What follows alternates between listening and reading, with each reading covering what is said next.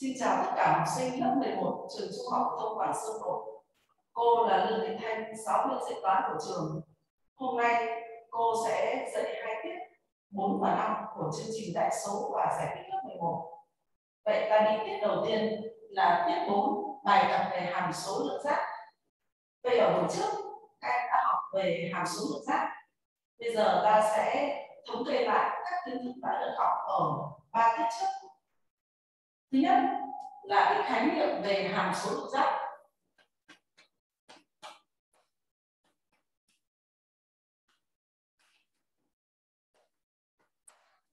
Trong cái định nghĩa về hàm số lượng giác, yêu cầu các em nắm bắt cho cô giáo các tập xác định tập giá trị của hàm số. Thứ hai là tính chẵn lẻ của hàm số thứ ba là tính tuần hoàn của hàm số.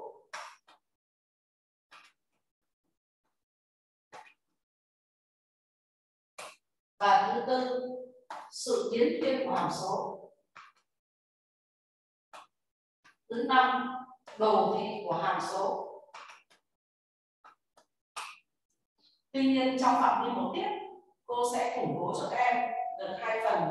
Phần thứ nhất là định nghĩa hàm số lượng giác và thứ hai, tính chẵn lẻ của hàm số. Vậy bây giờ ta sẽ đi phần thứ nhất là củng cố về tập xác định và tập giá trị hàm số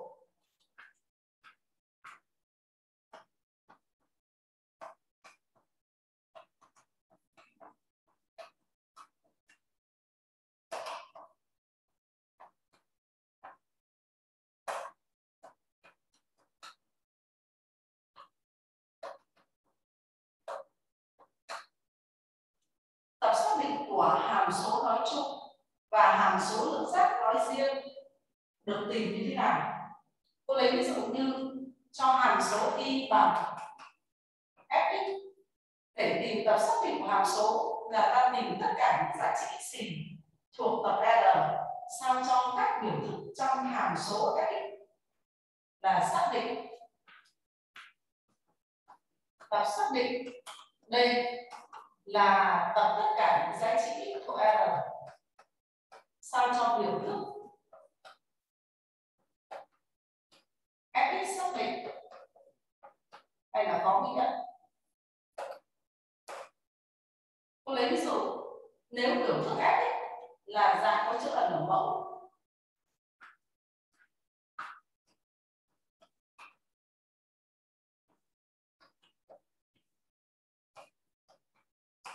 Thì muốn biểu thức này xác định thì UX phải khác không?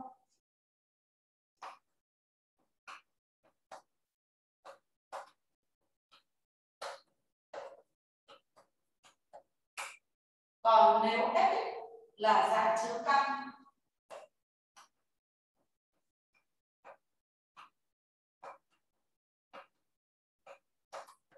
thì cuối phải đứng bằng không? Còn nếu giá cách đồng thời vừa chữa ở đồng mẫu và chữa căn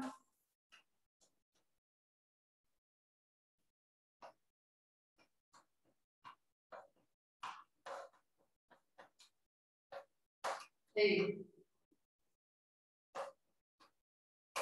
cuối phải đúng được không Đấy. vậy thì nếu em nắm bắt được các cái điều kiện này thì đối với hàm số nói chung và hàm số lượng giác nói riêng, các em cứ lắp điều kiện vào và các em giải điều kiện đó, từ đó các em suy ra được tập xác định của hàm số. Và các em nhớ tập xác định thì ta có hai cách viết một là liệt kê, hai là nêu tính chất đặc trưng của các phần tử trong tập hợp tuy nhiên phần này liệt kê thì rất nhiều, cho nên là các em nên viết dễ dàng tính chất đặc trưng của nó. Bây giờ cô sẽ đi cụ thể.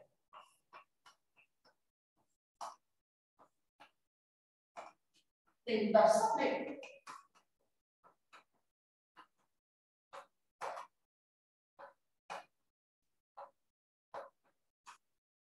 của các hàm số sau.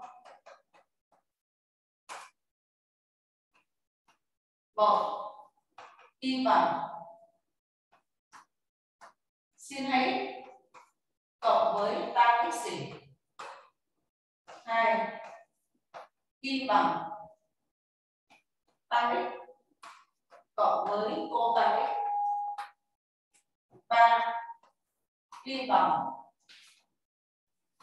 xin chia cho cốt x cộng một. Bốn y bằng căn bậc hai của cốt x cộng một cộng với căn bậc hai của một trừ cốt x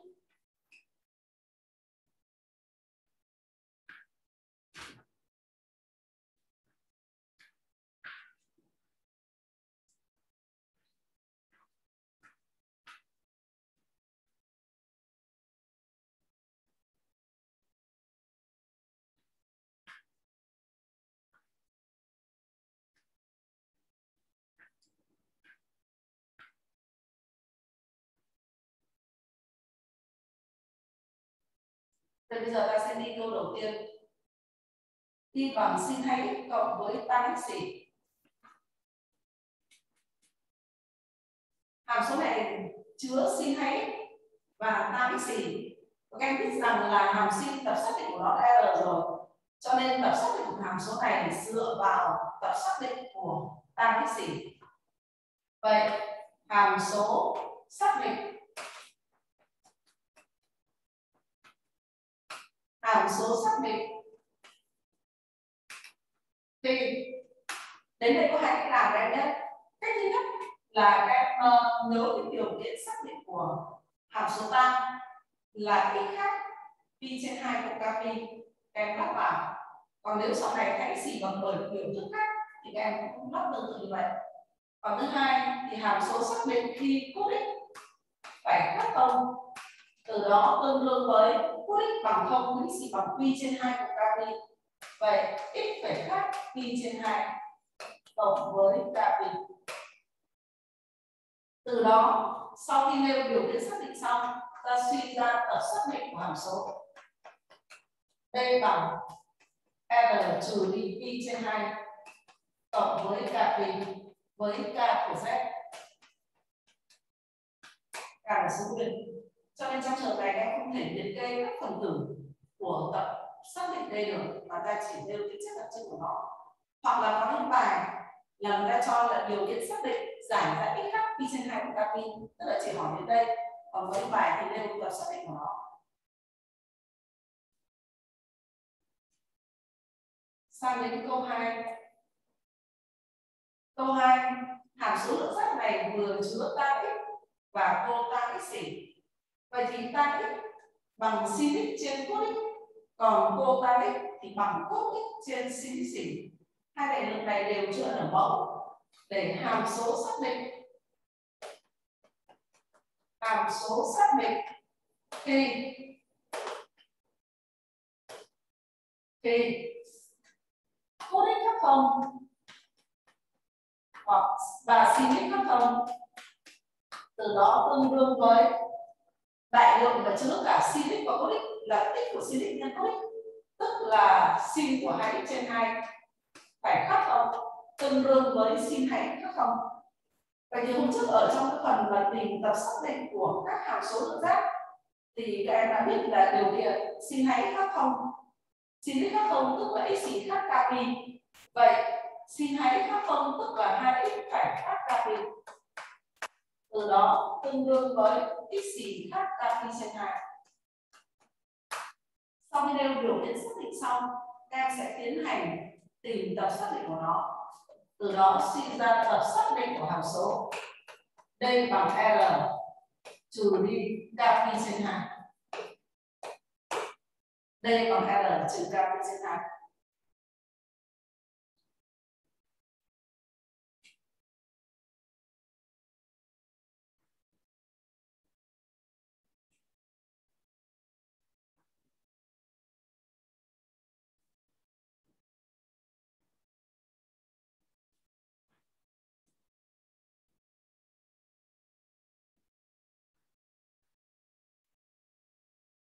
Câu thứ ba. Y bằng sin x trên cos x cộng 1. hàm số này là hàm số có chữ ẩn mẫu sin x thì xác định đúng mẫu x của r rồi. Vậy anh này muốn xác định thì cos x cộng một phải khác không? Hàm số xác định. Thì cos x cộng một phải khác không? Tương đương với cos x khác trừ một. Thì cos x khác trừ một thì x gì sẽ khác bao nhiêu? Bây giờ cô giáo sẽ hướng dẫn các em dùng cái đường tròn tứ giác để xem khi đó x gì khác giá trị nào.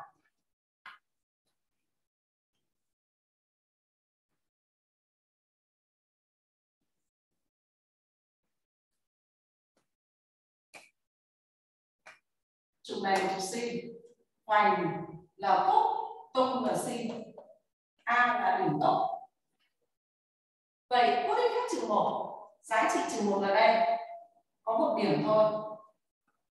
Và nếu, và điểm đó trùng với điểm a phẩy m trùng với a phẩy, thì số đo của cung a a phẩy chính là bằng pi cộng với k 2 pi pi cộng k 2 pi điều đó chứng tỏ cos x mà bằng trừ 1 thì x bằng pi cộng k pi mà khác trừ 1 thì x sẽ khác pi cộng với k pi vậy tương đương với x gì khác pi cộng với k pi từ đó suy ra tập xác định d bằng r trừ đi pi cộng với k pi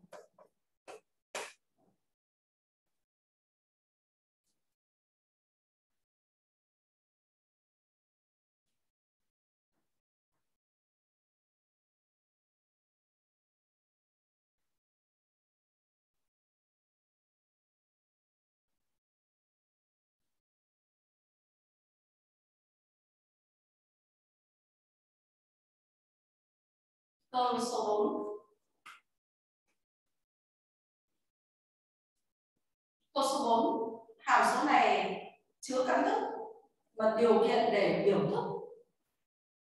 Căn thức có nghĩa thì biểu thức dưới dấu căn phải lớn bằng không vậy, hàm số xác định. Hàm số xác định. Thì cos x cộng một lớn bằng không đồng thời, một trừ cos x lớn bằng không từ đó tương đương với giải điều kiện. Ta được cos x lớn bằng trừ một. Cos x bé bằng một. Vậy em lấy ra tương đương với trừ một bé bằng cos x bé bằng một. Điều này luôn đúng rồi cốt tích của ta chạy trong đoạn từ trừ một đến một. Luôn đúng. Vậy cốt tích chỉ được làm trong đoạn từ trừ một đến một. Thì điều này luôn thỏa mãn với mọi x của l. Từ đó suy ra tập xác định của hàm số. Tập xác định đây chính là tập l. Tập xác định đây là tập l. Vậy thì uh, vừa rồi với uh, bốn ví dụ bài tập cô đã hướng dẫn các em cách tìm tập xác định của hàm số nói chung. Cái này là hàm số nói chung.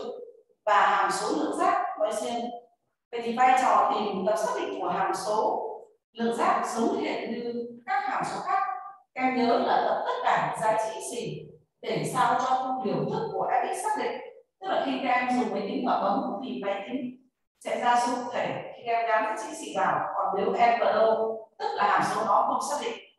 Đấy vậy uh, ví dụ đầu tiên là củng cố phần thứ nhất đó là tập xác định của hàm số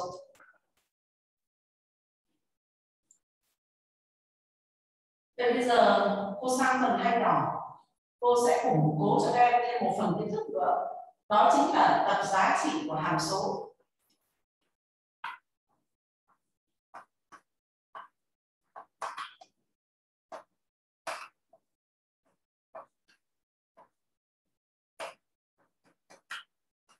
Hay là tìm giá trị lớn nhất nhỏ nhất?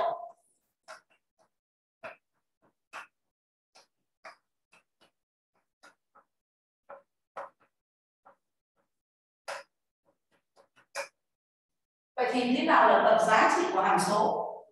Nếu cho hàm số y bằng cách tập giá trị của hàm số là tập tất cả những giá, giá trị cách xỉ với xỉ thuộc tập xác định hàm số. Các em nhớ rằng là tập xác định là còn tập giá trị là tập y tập tất giá trị. Y vậy nếu cho hàm số y bằng f có tập xác định là d vậy tập giá trị của hàm số, ta ký nội tập y đi, là tập tất cả những giá trị f xỉ với x xỉ thuộc tập xác định này vậy thì để tìm tập giá trị của hàm số thì thông thường các em sẽ phải đánh giá được fx sẽ nằm trong đoạn nào. Tức là mục đích này, ta đưa về đánh giá này. Đánh giá. Fx sẽ lớn hơn hoặc bằng số m nhỏ và bé bằng số m lớn với mọi x thuộc định lớn bằng m nhỏ và bé bằng m lớn với mọi x t m nhỏ m lớn đóng vai trò là một số cụ thể. Thì sau khi mà đánh giá được điều này rồi, thì từ đó suy ra tập y chính là đoạn từ m nhỏ đến m lớn.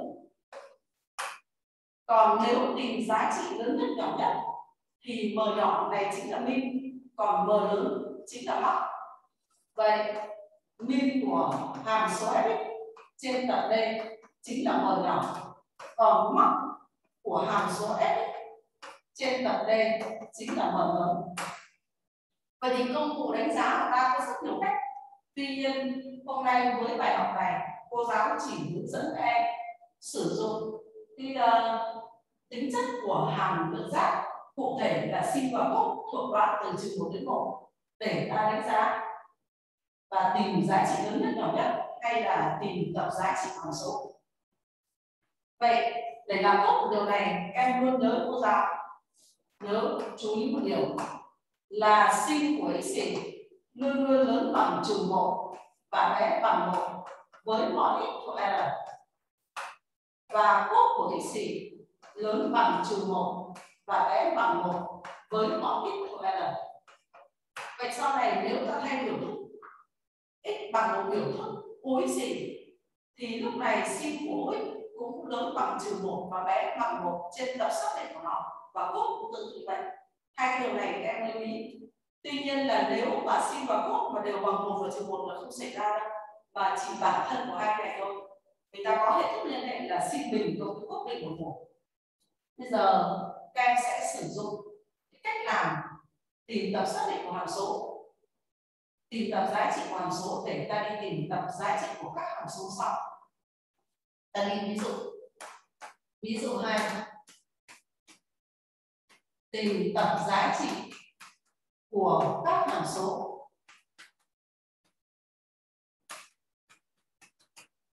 Một y bằng. Ba, xin hãy trừ năm. Hai y bằng. Sin cộng với cos xỉ cộng một. Ba y bằng sin mũ bốn x cộng với cos mũ bốn x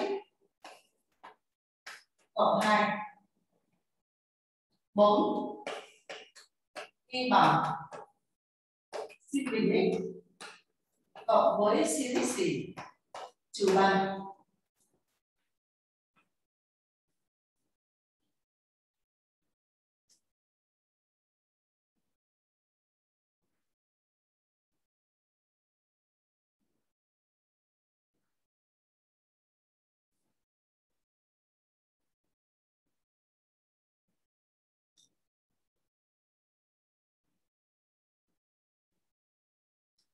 Vậy bây giờ cô giáo sẽ hướng dẫn cho các em cách làm câu thứ nhất. Bây giờ ở cái hàm số đầu tiên em chỉ thấy xuất hiện bình giá trị sin 2x. Vậy như ở trên ta nói là sin của x cũng lớn bằng trừ một và bé bằng một, cho nên là sin 2x cũng thuộc đoạn đó.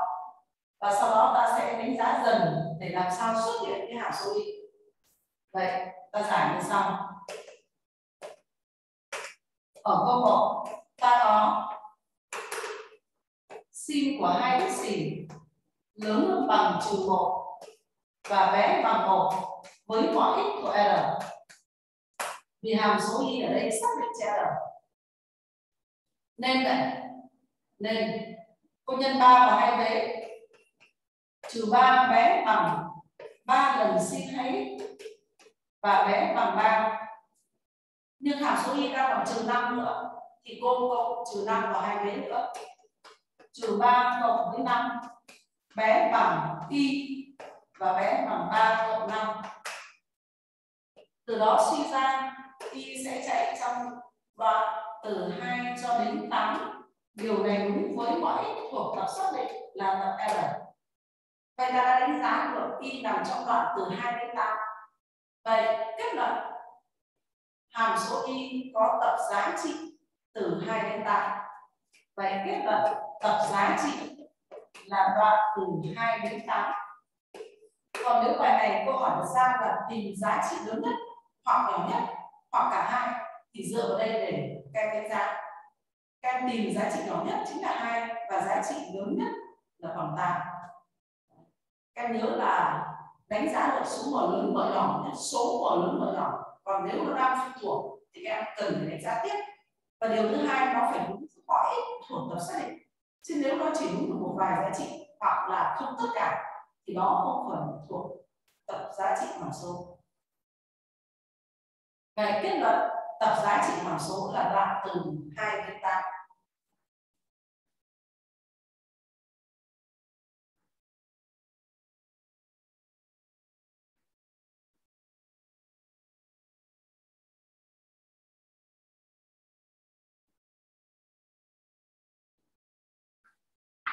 Câu số 2. Ở câu số 2, các em thấy vừa chứa silic và cốt xỉ. Vậy thì nhiều bạn nghĩ ngay đến việc đánh giá giống như trên. Sin cũng chạy trong đoạn từ trừ 1 đến 1 và cốt cũng vậy và sau đó các em cộng với lại với nhau. Tuy nhiên nếu các em đánh giá như vậy thì số bằng nó sẽ xảy ra trong một thời cùng lúc. Tức là khi đánh giá dấu bằng thì sin bằng trừ 1, cốt bằng trừ 1 không đúng. Đấy cho nên trong trường hợp này để tìm được miền giá trị của hàm số thì ta sẽ thu gom trước khi đánh giá. Vậy hàm số y lúc này chính là bằng. Công thức này hôm trước là đã, các em đã biết rồi. Sin x cộng cos x bằng căn 2 sin của góc x xì cộng y trên 4 và cộng đúng 1 từ đây các em biết rằng là gì? Sin nằm trong đoạn từ trừ 1 đến 1 các nhân với căn 2 và các em cộng với 1 thì ta sẽ có. Từ đây suy ra y sẽ lớn bằng. Cô đánh giá nhanh này. Cộng một, hai vế. Một, cộng với căn hai. Y sẽ lớn bằng một trừ căn hai và bé bằng một cộng căn hai. Điều đó đúng với mọi x của r thuộc tập xác định từ đó suy ra tập giá trị của hàm số y chính là đoạn từ 1 trừ căn 2 đến 1 cộng căn 2.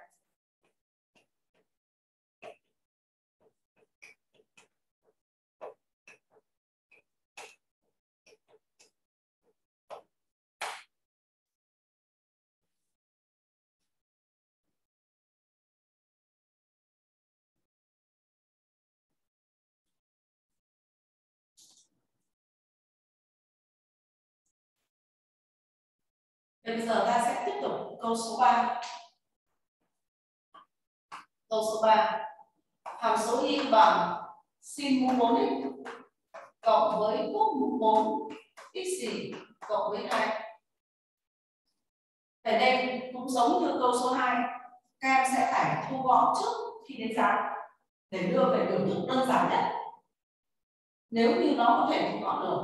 Vậy ta biết là công thức sin mũ 4x cộng cos mũ 4x rồi các em sẽ liên mốt hai lần x và sau đó dùng thức liên đôi để đưa về dạng sau.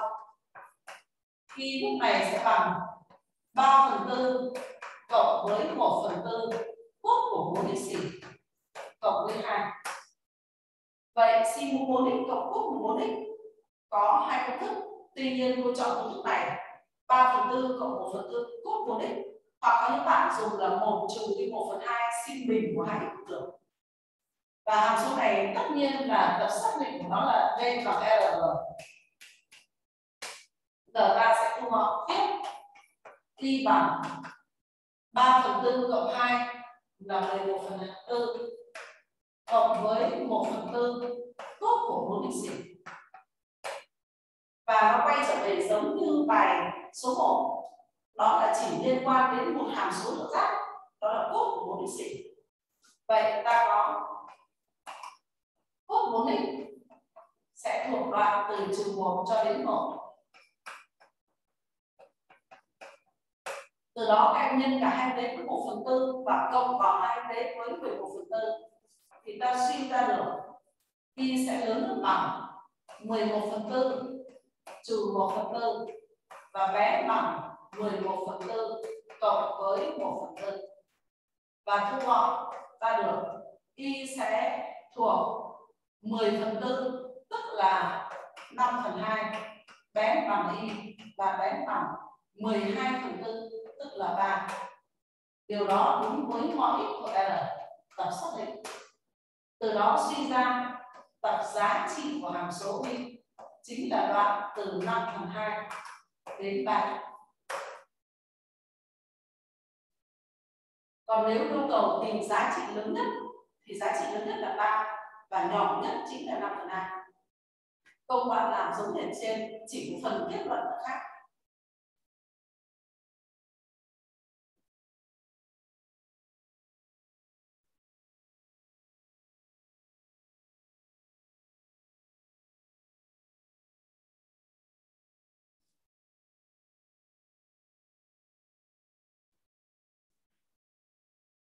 Giờ ta sẽ sang câu thứ tư cái câu thứ tư là chữa sin bình rồi sin tuy nhiên là các em không thể đánh giá sin chạy trong đoạn từ trừ một đến một. Sin bình x thuộc đoạn từ 0 đến 1 rồi cộng với lại với nhau. Đấy. Vậy thì nếu cộng với thế thì số bằng nó sẽ xảy ra không đồng thời. Cho nên là trong trường này thì ta có thể là làm theo cách sau, dùng phương pháp đặt ở phụ vậy ta đặt. Sin x xỉ bằng t với t thuộc đoạn từ trừ 1 cho đến 1 sin x bằng t với t thuộc đoạn trừ 1 đến 1 Thực ra bài này nếu mà ngay ban đầu các đánh giá của nó cũng được, bởi vì đây số cộng. Chứ nếu cô giáo mà cho số trừ là các em không đánh giá đâu, bởi vì nó đảo chiều với nhau sin x bằng t với t thuộc đoạn trừ 1 đến 1 khi đó, hàm số y sẽ trở thành ft hàm ft theo đến t là t bình cộng t trừ 3 xét trên đoạn từ trừ 1 cho đến 1 và em sẽ quay trở về hàm số quen thuộc của của lớp 10 đó là hàm số 12 bây giờ để tìm tập giá trị của hàm số cũng tương đương với tìm giá trị lớn nhất, giá trị nhỏ nhất của hàm số trên đoạn thì ta sẽ tiến hành điều bảng đầu tiên. X thay bằng t, xét trên đoạn từ trừ 1 cho đến một. Đỉnh của parabol có hoành độ trừ 1 phần hai.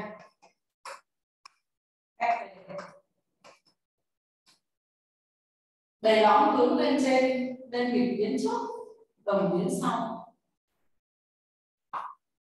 t bằng trừ Các em thay giá trị vào hàm st kết quả, anh này là bằng à, trừ ba. Tại t bằng một, thay vào bằng trừ một. Còn tại t bằng trừ một phần hai, em thay vào, cái này là một phần tư. Một phần tư cộng với một phần tư trừ một phần hai là trừ một phần tư. Trừ một phần tư, trừ đi ba cũng bằng mười hai là mười ba trừ mười ba phần tư em kiểm tra lại, xem là có tính được đúng chưa.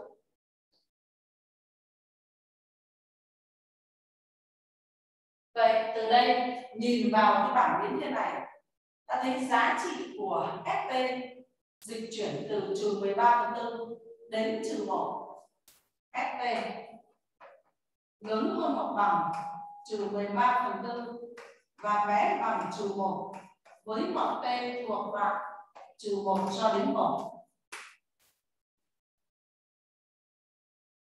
Từ đó suy ra y sẽ lớn bằng trừ 13 phần 4 và bé bằng trừ 1 với mọi x thuộc R. Nhưng em kết luận tập giá trị chính là đoạn từ trừ 13 phần 4 cho đến trừ 1. Trừ 13 phần 4 đến trừ 1. Chú.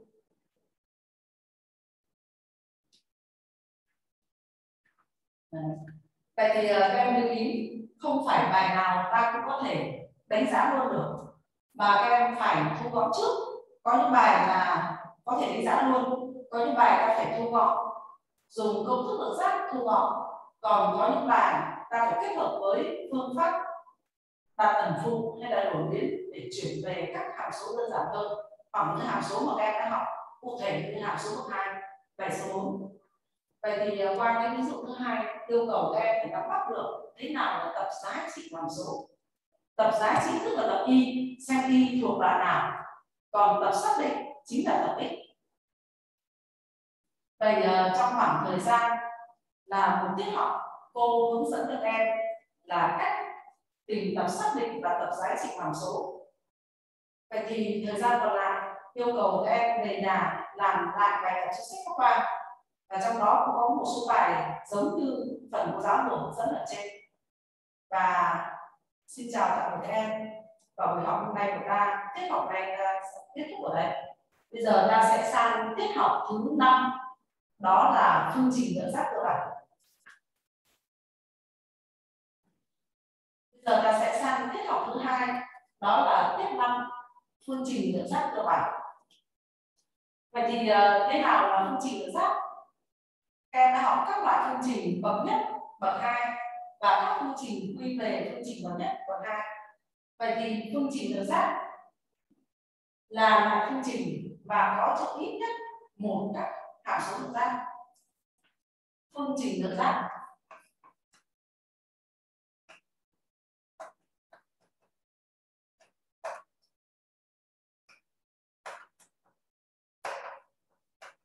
là phương trình. Có chứa ít nhất.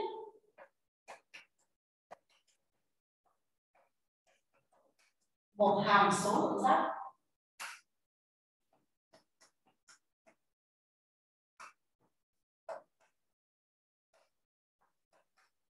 Chứa ít nhất một hàm số lượng giác. Cô lấy ví dụ. Sin của x cộng một bằng không. Xin hãy cộng với cos xỉ bằng hai. Tan x xỉ cộng với cô tan của x bằng trừ một. Đây là những hàm số lượng giác. Hàm số ở phương trình thứ nhất là chứa một và ở phương trình thứ hai, thứ ba là chứa hai hàm số lượng giác sin hãy x cos tan x và cô tan x vậy giải phương trình nữa khác là gì? Giải phương trình nữa khác là đi tìm tập hợp tất cả các giá trị chỉ thỏa mãn phương trình đó. Giải phương trình nữa khác.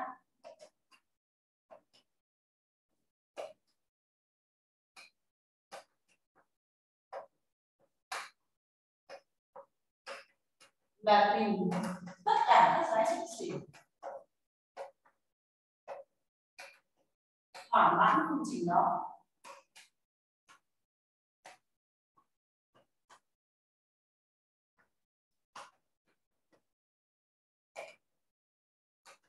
Đó là gọi là giải phương trình lượng giác vậy thì để giải phương trình lượng giác nói chung và các phương trình lượng giác ở trên bảng dẫn cho, thì về em phải giải được các phương trình lượng giác cơ bản. Và sau này các phương trình đó quy trở về phương trình lượng giác vậy, phương trình lượng giác cơ bản là gì? Phương trình lượng giác cơ bản là những loại phương trình sau. Sin x bằng m cos x bằng m tan x bằng m và cô tan của x bằng m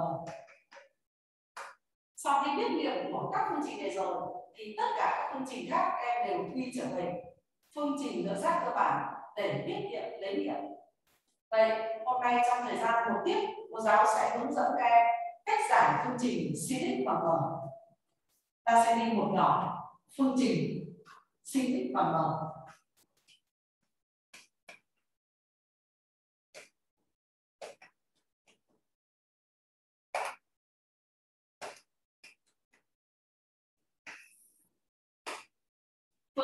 Sinic và sin m các em biết rằng nguyên giá trị của sin hàm số y bằng Sinic là đoạn từ trừ 1 cho đến 1. Cho nên chính vì thế, không phải với quả m thì phương trình này luôn có nghiệm đâu. Vậy nếu m mà thuộc đoạn từ trừ 1 đến 1 thì phương trình mới có nghiệm. Còn nếu m không thuộc đoạn đó thì phương trình vô nghiệm.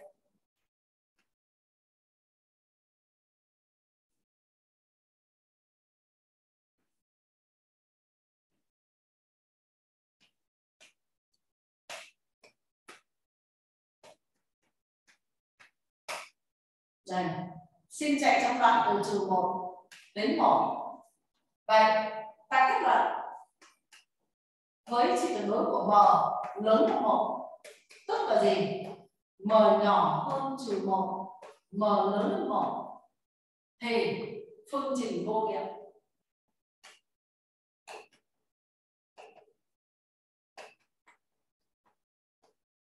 Mà vô nghiệm không có giải nữa. Cô lấy ví dụ như là gì?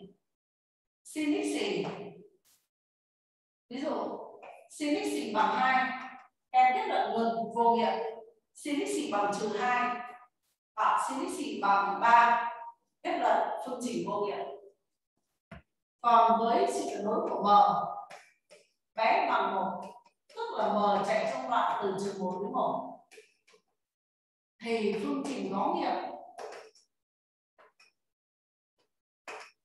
có nghiệm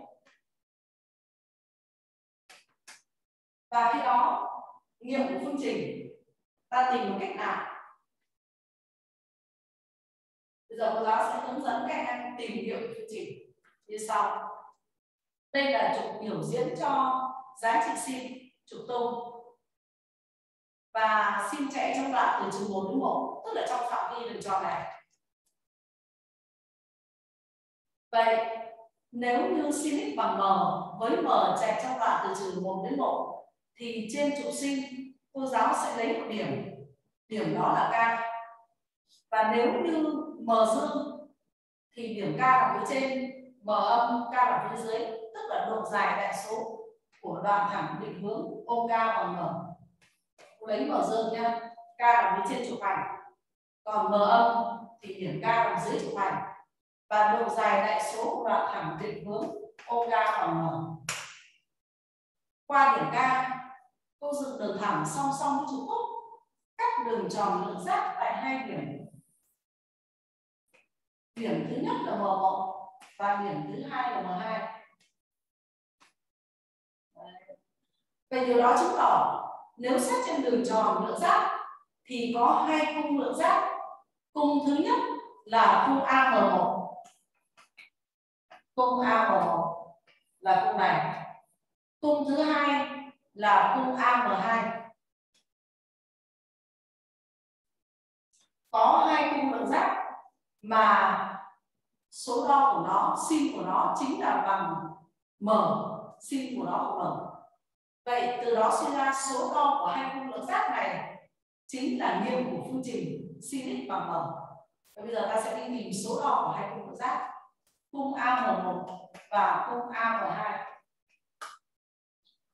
nếu đặt góc a, o m1 bằng alpha alpha chạy từ trừ biên 2 cho đến pi vì sin của ta chạy từ trừ 4 đến 1 cho nên ta lấy góc này và bao luôn cái tổng giá trị của nó. Khi đó, số đo của cung AM1 sẽ bằng gì? Tất cả những cung lượng giác điểm đầu A, điểm cuối M1 chung nhau một công thức. Đó chính là số đo của nó bằng alpha cộng k đi này em đã biết trong cái phần uh, cuối của phần uh, cấu trúc lượng giác của lớp 10 10 và số đo của cung A12 thì sẽ bằng đây toàn bộ này bằng pi trừ đi alpha cộng với k thì pi. Số đo của nó. Vậy điều đó chứng tỏ có hai cung lượng giác tương ứng với hai công thức này. Nếu x xì bằng alpha của IV pi hoặc x xì bằng pi trừ alpha của IV pi, thì khi giống trên trụ sinh, thì giá trị sin của nó chính là bằng m. Điều đó chứng tỏ phương trình sin x bằng m sẽ có hai công thức điện này vậy thì về mặt lý thuyết thì cách làm như vậy. Còn trong quá trình làm bài thì các em chỉ cần biểu diễn như sau. Thứ nhất, ta sẽ đặt sin của alpha bằng m với trừ pi trên hai, bé là alpha bé bằng alpha và bé bằng pi trên hai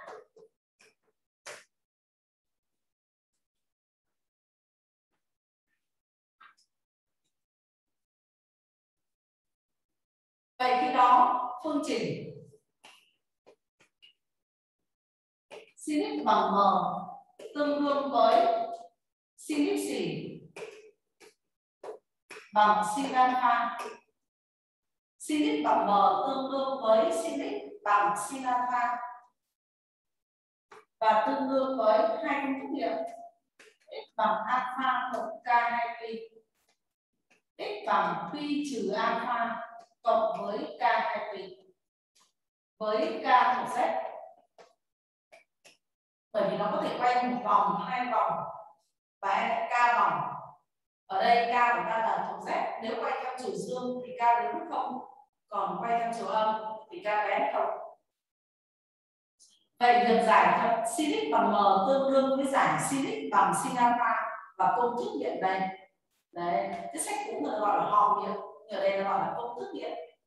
Sau này việc giải phương trình này, các em chỉ cần tìm alpha và các em thay vào công thức thôi ngoài đơn vị đo bằng radian thì góc lượng giác cung lượng giác có thể đo bằng độ. Cho nên, phương trình sin x bằng sin a độ tương đương với x xỉ bằng a độ cộng với k 360 độ, hoặc x xỉ bằng 180 độ, trừ a độ cộng với k 360 độ. Các em nhớ thống nhất đơn vị đo. Các em có thể đo bằng radian thì radian cả. Còn nếu độ thì độ cả. Tránh tình trạng vừa biết cả radian và cả độ. Cô lấy ví dụ x xì bằng 30 độ cộng với k 2 pi. Cái này là sai nhé. Đấy. Mà trong trường hợp này các em một phải đổi độ xa radian tức là ba độ ta xem như là pi trên 6 còn, hoặc là đổi từ radian sang độ hoặc đổi về độ thì hai pi chính là 360 độ để thống nhất một đơn vị đo tránh tình trạng nửa cái này nửa kia.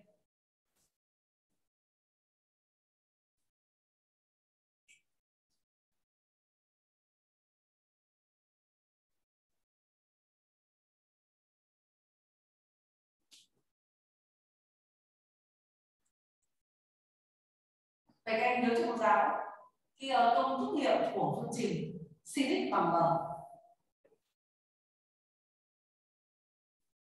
sin x bằng m bây giờ ta xét trường hợp đặc biệt.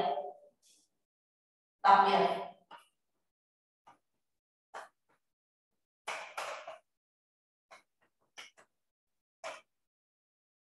Đó là sin x bằng 1 khi sin vào bằng một các em quan sát trên ờ, đường tròn đỡ giác thì lúc này điểm M ta sẽ trùng với trùng với điểm ờ, B. Đây là điểm B các em nhé. Và đây là B phẩy trùng với điểm B. Vậy thì có duy nhất một điểm B thôi. Có một điểm B. Cho nên lúc đó là số đo của cung AM sẽ bằng pi trên 2 cộng với K2pi trùng với B đấy để mời chúng điểm đây này. Giống trên trục sin thì lúc đó sin đúng là một vậy sin x bằng một tương đương với x gì bằng pi trên 2 cộng với k 2 pi đó là cách thứ nhất để các tìm nghiệm phương trình còn cách thứ hai các em có thể lắp luôn một thử nghiệm này. Đây cô giáo lắp luôn này. Vậy thì uh, muốn tìm cái pi trên hai thì hoặc là các em dùng đường tròn đường tắt hay là cô sẽ hướng dẫn các em sử dụng máy tính thì các em bấm để ra đọc alpha tức là trong máy tính có chức năng là sin và ngược lại của sin đó là ship sim.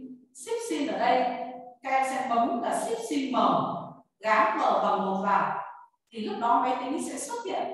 Alpha chính là bằng pi trên 2 và các em sẽ lắp vào thức nghiệm x bằng pi trên 2 cộng với k 2 trừ hoặc x thì bằng q trừ đi 2 tức là q trên 2 cộng với k 2 trừ các em thấy công thức nghiệm hai công thức nghiệm này trùng nhau, cho nên ta chỉ viết một lần x bằng q trên 2 cộng k 2 trừ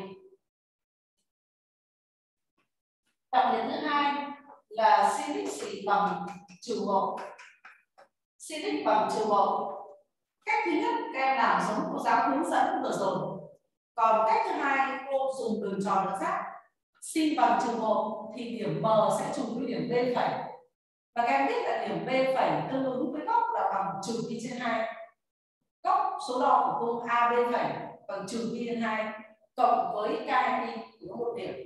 Cho nên dẫn đến phương trình sẽ có nghĩa x gì bằng trừ pi trên 2 cộng với k pi thứ ba sin x bằng không? Sin x bằng không? Khi sin x bằng không, thì các em nhìn. Khi sin bằng không, tức là lúc đó, điểm m trùng với a hoặc m trùng với a phẩy. Đấy. Khi m trùng với a và a phẩy, tức là ta có hai điểm trên đường tròn đường sát thì gộp lại thành kp. Cái điểm đầu ta lấy ở vị trí a luôn.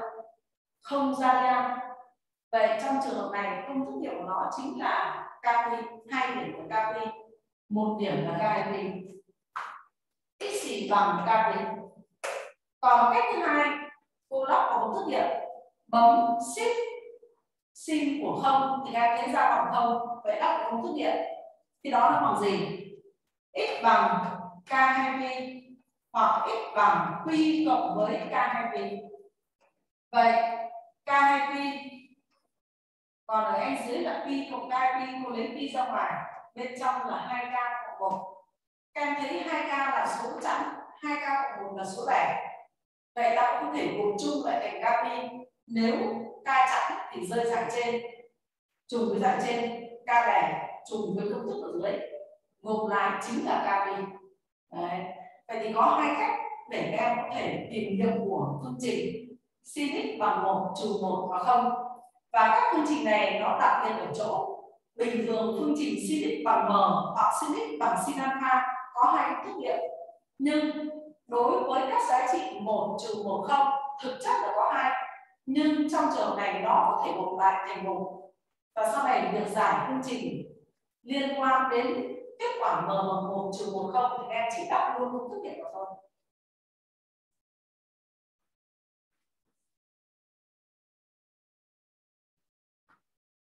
ngoài việc giải phương trình sin x bằng m ra, tương đương với sin x bằng sin alpha ta có thể tổng quát lên thành dạng phương trình sau. Tổng quát.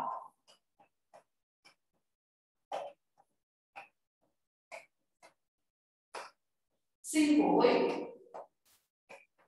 bằng sin v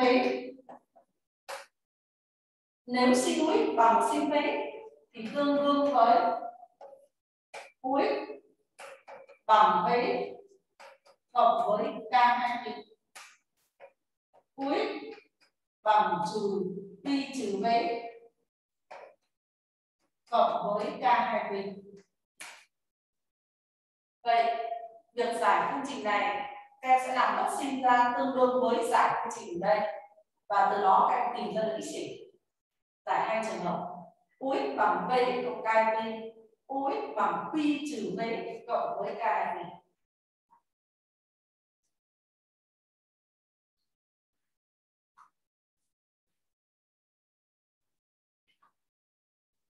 lấy ví dụ. Ví dụ một giải các chương trình sau.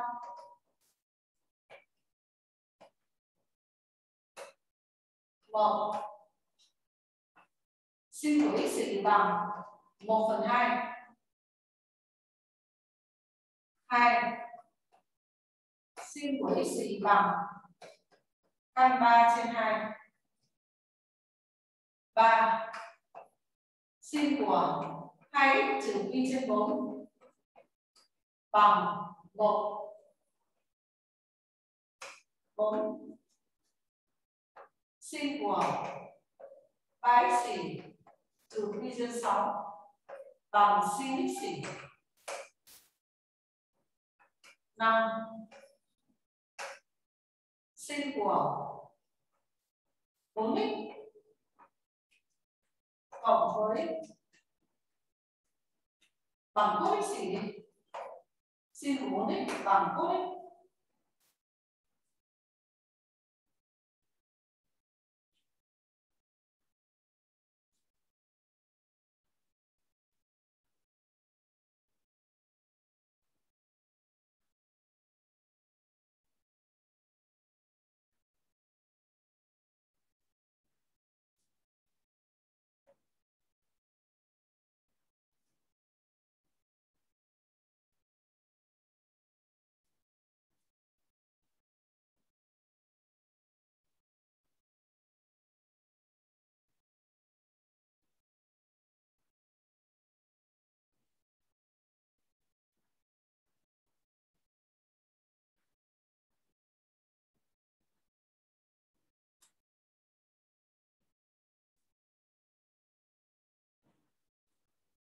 Thế bây giờ ta sẽ tiến hành giải từ câu 1. Ở câu thứ nhất, sin x bằng 1 phần 2. Thầy cô giáo đã nhắc em, các em có thể nhớ ngay giá trị nào của sin và sao cho sin của nó bằng 1 phần 2. Còn không các em dùng máy tính bấm, bây giờ khi giải toán các em kết hợp với cách sử dụng máy tính thì công đoạn em làm nhanh được. Vậy ta bấm shift sin của 1 phần 2 thì ra cộng đó chính là pi trên sóng vậy ta biết sin x bằng sinh của pi trên sóng nhiều bạn chỉ biết là sinh x bằng pi trên sóng đó là sai nhá. Tương đương với log ứng thức nghiệm x bằng pi trên sóng cộng với k 2 p? Hoặc x bằng pi trừ pi trên sóng cộng với k 2 p? Trong đó k của z. Và các em gọi các em được x bằng pi trên 6 cộng với k hai pi hoặc x bằng 5 pi trên 6 cộng với k hai pi Vậy các bạn là phải tìm ra được góc alpha có thể đo bằng một hoặc varian bằng bao nhiêu để lắp công thức tôi gọi là công thức điện.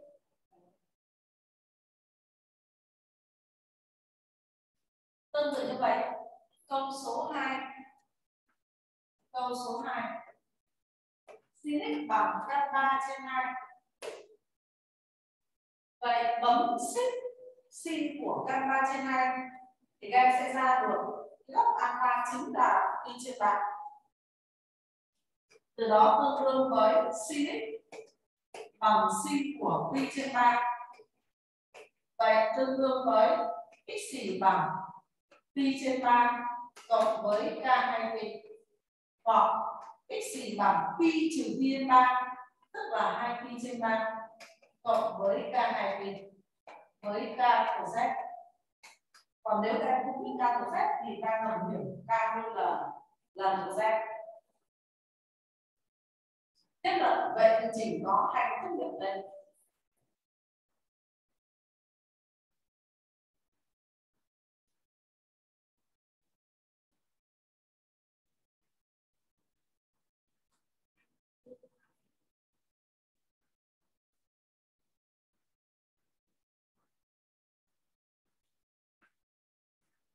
Câu số 3. Sin của 2x trừ pi trên 4 bằng 1. Sin của 2x trừ pi trên 4 bằng 1. đây các em thấy sin x bằng 1 thì x bằng pi trên 2 của k hay p vậy ta xem cái biểu thức này nó cái chọn x gì 2x trừ pi bốn nó cái chọn x.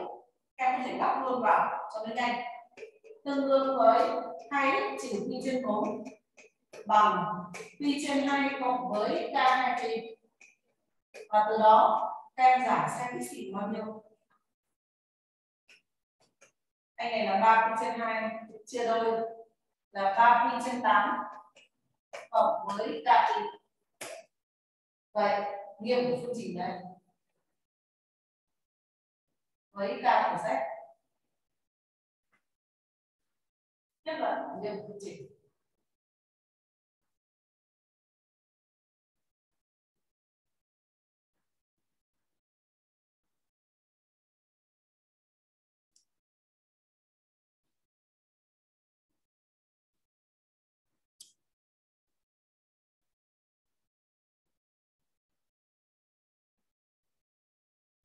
Câu số 4. Sin 3 trừ pi trên 6 bằng sin x gì? Vậy dạng này, sơn là dạng tổng quát. Sin x bằng sin vế kèm lắp vào. tiếp thế này là mức và dt đơn vị đo bằng radian. Tương đương với 3 x trừ pi trên 6 bằng x cộng với k 2 3 x trừ pi 6 bằng pi trừ x cộng với tan hai pi và giải nhân ra, ta được x bằng. Rút gọn.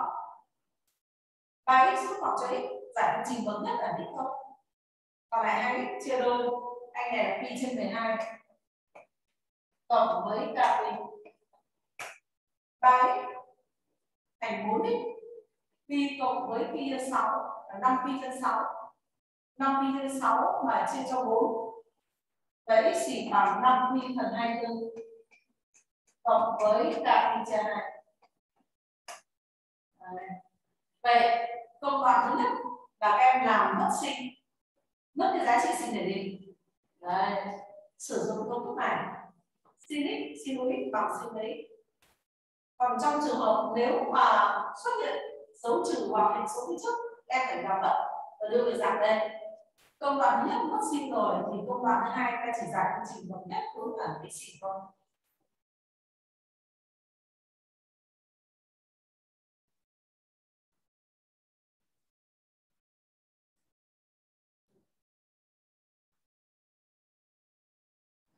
Giờ em chuyển sang câu thứ năm sin của 4x bằng cos x xỉ sin 4x bằng cos x. Vậy khi giải phương trình này ta phải đưa về hai dạng trên. Đấy, một là xuất hiện sin của x bằng m, hai là sin của x bằng sin v.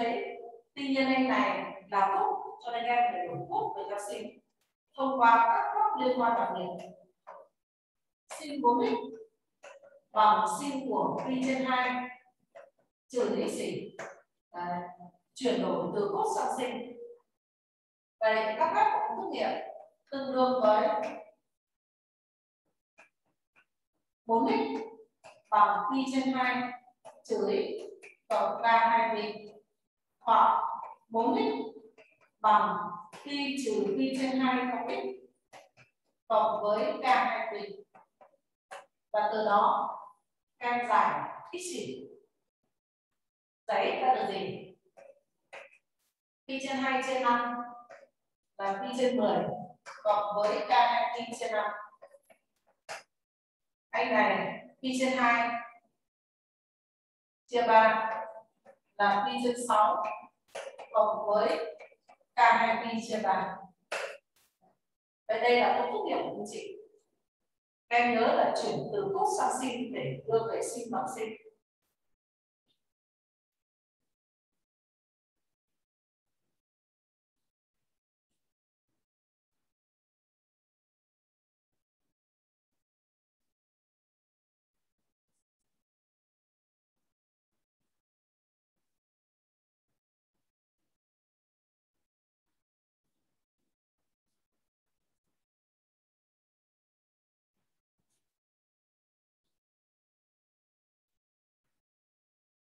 Vậy từ đấy đến giờ, cô giáo đã hướng dẫn các em giải phương trình dẫn dắt các bạn tuy nhiên là các giá trị mở của ta là số rất lẻ đó là một phần hai, năm ba trên hai, một.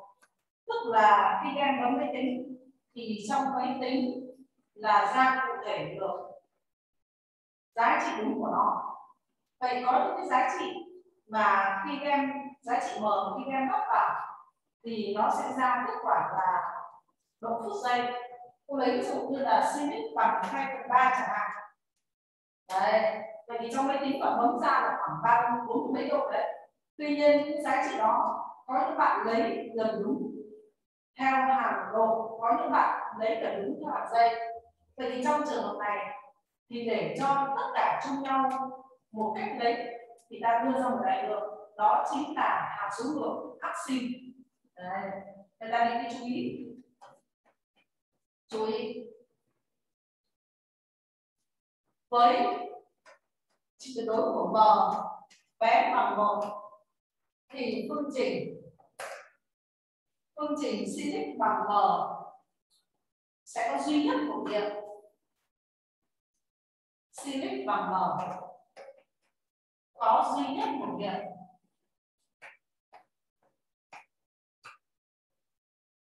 X gì? Thuộc đoạn từ trừ pi trên 2 đến pi trên 2 và nghiệm đó được ký hiệu.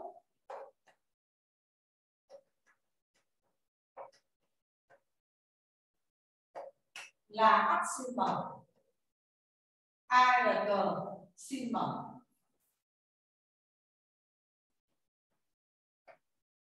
Đấy, cô giáo nhắc lại nếu máy tính bấm ra được số cụ thể số đúng thì đem uh, viết nguyên AK là bao nhiêu. Còn trong trường hợp mà số đó là số gần đúng thì em phải dùng ký hiệu maximum vậy phương trình sin x bằng m tương đương với công thức nhận như sau. X xì bằng maximum cộng với k hai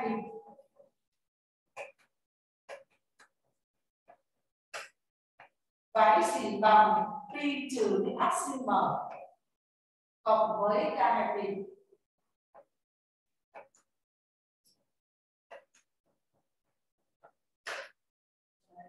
từ đó chứng tỏ axit m đo đơn vị bằng radian và nó chạy từ trừ pi 2 đến pi trên 2 ta đúng nhất một tí hiểu biết, không dùng giá trị lần đúng Tôi lấy ví dụ giải phương trình sau.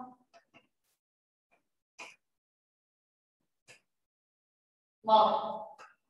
Sin của x bằng 2 phần 3 2 sin của 2 cộng pi trên 4 bằng 1 phần 3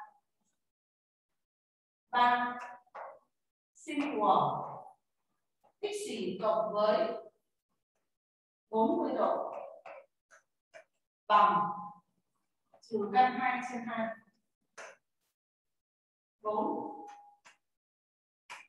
sin của 2 trừ pi trên 6 cộng với cos xỉ bằng 0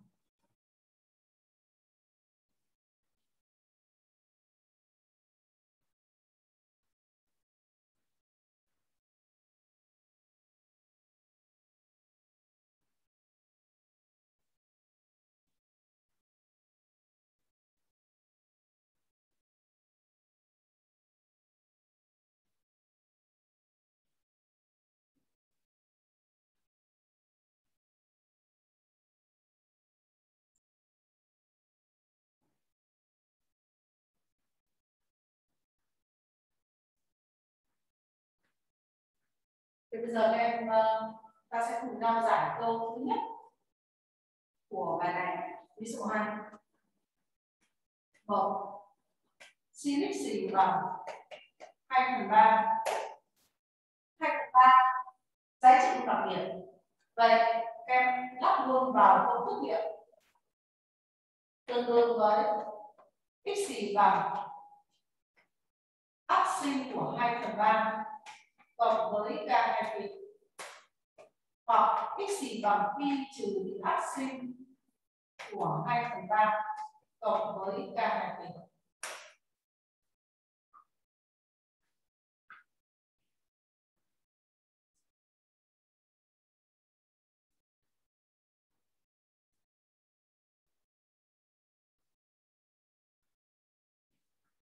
Câu thứ hai.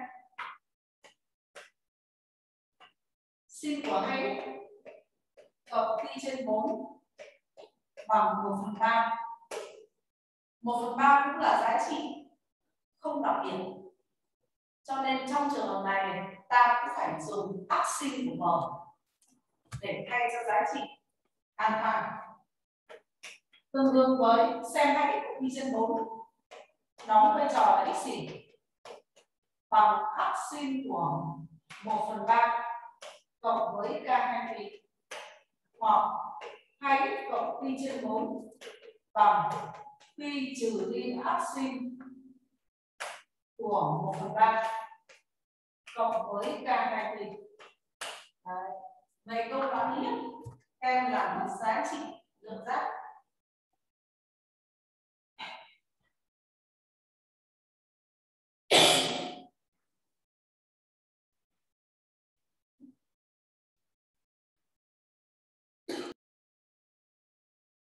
vậy công đoạn một các em đã làm mất được giá trị đơn giác công đoạn thứ hai ta giảm chương trình. Từ bích xỉ. Cô chuyển pi trên 4 sang đây và chia cả hai vế cho hai. Ta được bích xỉ bằng trừ pi trên 8 cộng với 1 phần 2 áp sin của 1 phần 3 cộng với k bình,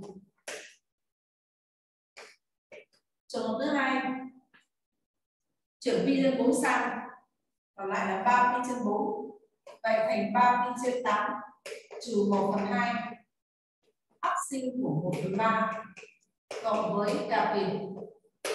Đấy. Các em nhớ này, trong quá trình làm, nhiều bạn hay mắc sai lầm, tức là chia cả hai vế cho hai, thì chia cho cái 1 phần 3 chia 2 là 1 phần 6 là sai. Cái 1 phần 3 này là giá trị của m. Toàn bộ anh này, áp sinh của 1 phần 3 mới là góc đấy, nó đóng vai trò giống như góc alpha cho nên em chia một phần hai là chia toàn bộ cho góc không phải chia cho giá trị m nhé. Đấy. nên lưu ý ở câu này.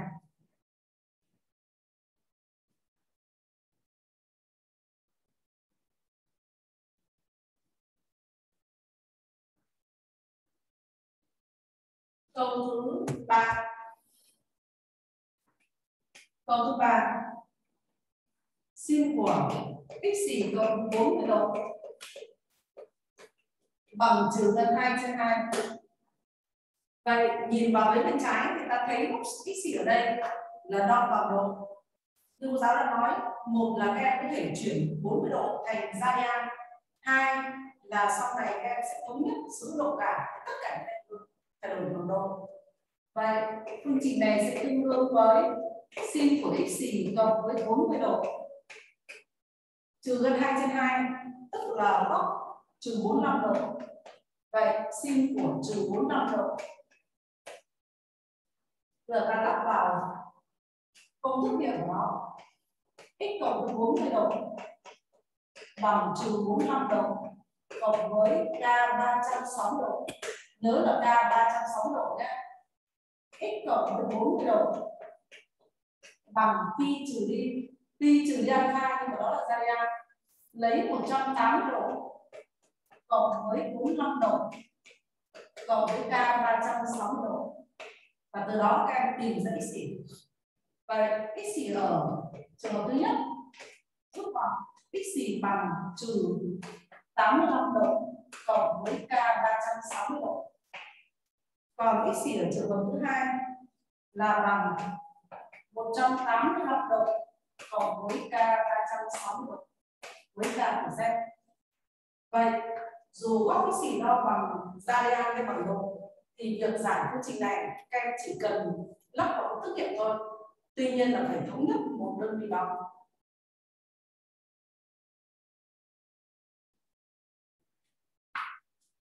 câu số 4 sin của 2x trừ biên 6 bằng cos x vậy, ta sẽ chuyển đổi cái cốt về theo sin ta có phương trình tương đương với sin của 2x trừ y trên 6 bằng trừ cos x. Trừ cos x tức là trừ sin của pi trên 2 trừ x. Trừ sin của pi trên 2 trừ x. Vậy thì em phải làm mất số trừ phía trước đi. Mất số trừ phía trước nha, để sin bằng sin. Tương đương với sin của 2x trừ pi trên 6 bằng sin của x xỉ trừ y trên 2 Đấy. x xỉ trừ nhân 2 vậy mất dấu trừ thì các em đảo dấu, người ta có sin của trừ x bằng trừ sin x. Và quay trở về giải phương trình này. Ta được x xỉ bằng rút gọn đi 2x trừ y trên 6 bằng.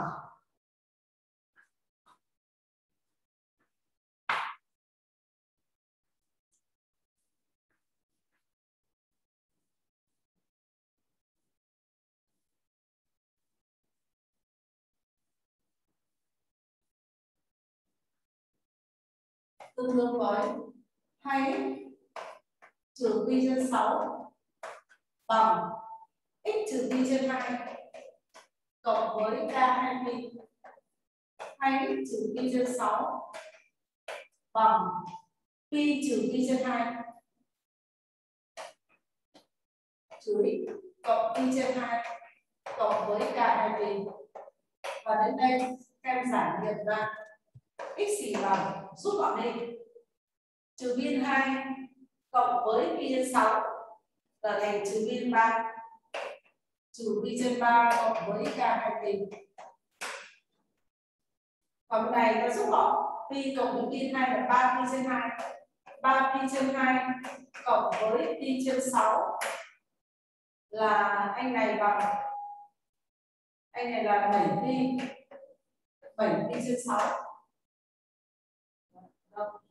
9 10 pi trên 6 nhân 3 10 pi trên 6 tức là 3 pi trên 2 đúng không? Chính là 10 pi trên 6 là 5 pi trên 2 5 pi trên 3 5 pi trên 3 tôi trên 3 Vậy x xỉ bằng 5 pi trên 9 cộng với k 2 pi trên 3 Đấy.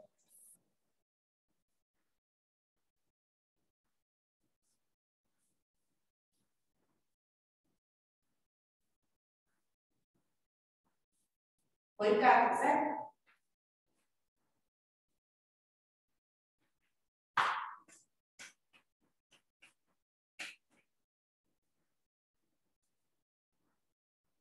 Vậy đối với câu 4, các em nhớ phải chuyển đổi. Cốt hết gì về theo sin sau khi đổi về sin được đẩy dấu trừ vào bên trong để nhằm mục đích là sin của x bằng sin với. Vậy thì uh, trong khoảng thời gian một tiết vừa rồi cô giáo đã hướng dẫn các em cách giải phương trình dẫn dắt cơ bản sin x bằng m và một số các phương trình mà đang ở dạng đơn giản quy trở về dạng đó. Vậy thì à, phía sau ta sẽ tiếp tục phần phương trình dẫn dắt và tiết này ta sẽ kết thúc ở đây. Chào tạm biệt các em.